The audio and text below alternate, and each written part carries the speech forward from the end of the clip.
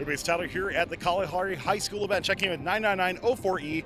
I'm a banana coming in on Indiana. Actually, a last second replacement team. Snowstorm here. They drove up from Indiana and they're doing really well so far. Uh, currently ranked 12th as we're filming this and looking absolutely phenomenal on the field. Lots of cool changes. We're going to be diving in on this robot here, uh, talking about some of their intake areas, some of their methodology behind it as well. And then we're really going to be honing in on their lift and their catapult area, uh, ratcheting system as well too. Talking about why they're going with the different bumpers. So let's learn more about I'm a Banana coming up here on Pits and Parts. This video on fun is brought to you by viewers like you and also in partnership with the following. The Robotics Education and Competition Foundation provides fantastic programs for students from elementary school all the way through college. These include VEX, aerial drone competition, online challenges, JROTC, Girl Powered, scholarships, certifications, and so much more. To discover these exciting opportunities, visit recf.org and get connected.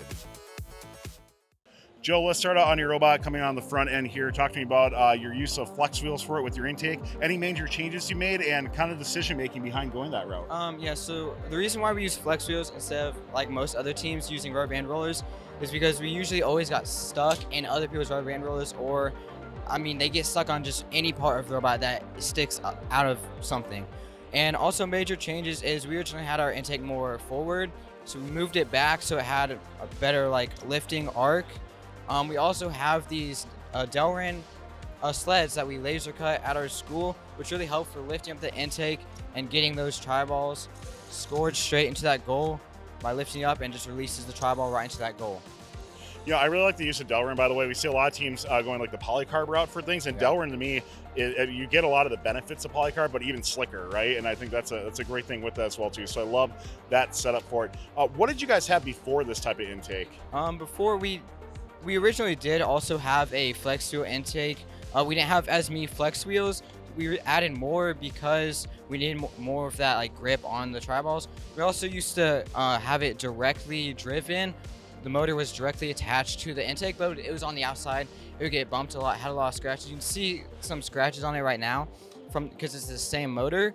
And we also um, went to gearing it, but we found that sometimes it would just mess up. So then we chained it just so that the motor can be slightly more back. And we also protect that with the Delrin so that it can't break as easily. Coming into this tournament, like I said, you came in last second for it as a replacement team for it. Were you able to make any changes coming into here, or is this just kind of straight from your, um, uh, your last event? We had to. We didn't realize is that we were like a centimeter out of size, so we had to come up with a jank way to hold this intake up. Um, we, we also had to uh, get the zip tie in the right placement so we could get that win point during Auton. It's just been in a, a journey here when we. Yeah, a couple jerry rig things to get it going, right? Yeah. So for sure. Let's uh, pass over to Jack. Talk about uh, your shooter and your lift area. A couple uh, things we were talking about ahead of time. You wanted to go through kind of your methodology behind the two bumpers uh, on there as well, and then we'll showcase uh, how that works with your lift system. Yeah. So the reason we have two bumpers and some other teams we see with one bumper, it's just that we can have two places of contact, and it makes it all of our shots more consistent, where we can predict where it goes and how it'll go there. And so whenever we have this, it'll when we have a tri ball on there, it'll always make contact like right here. Even if one of the bumpers is like loose or is falling around, the other bumper will make contact in the same place and that will make it go to the same section each time. Can we see one shot out there? I'd love to see the angle on what that looks like too. Yep. So you guys are going pretty low angle uh, with your shots on that. Yep. Um, with the way the meta of this game has evolved, we're seeing less and less of that match load or very short bursts of that. How has that changed for you guys in regards to uh, approaching a match? So yeah, we've actually barely match loaded this entire event. We've realized that it, this game really is starting to be just about speed. How quickly yeah. can you get some off before someone comes up and is able to block you? So um, most of this event, we've been uh, match loading directly into our intake, or we've just been bowling down the alley by dropping on a corner. Yeah. So when um, when we're on the match load zone, we'll drive straight onto the bar and it'll lift us up with these uh, with these wings, with these uh, ramps, and then I'll put it straight in here and it'll just go straight into our intake. Yeah, I was watching your last match. Definitely a strategy that you were taking for that, and yeah, it just has become very effective to have just a lot of control. I think these days mm-hmm. uh, with the way it's going. Uh, talk to me more about your lift uh, mechanism. And let's see that deploy out. Yeah. So our lift mechanism is supported by these rubber bands on both sides. It gives it a bit of an extra boost, and it only has two pistons on each side helping it push up. Um, it's about, I'd say, 26 to 28 inches high, and it's just really good for those matches when we have someone else with a lift trying to block us. Usually they're a bit lower or just a bit higher, but since we have that, this arc is higher because it's kind of tilted back compared to our low arc.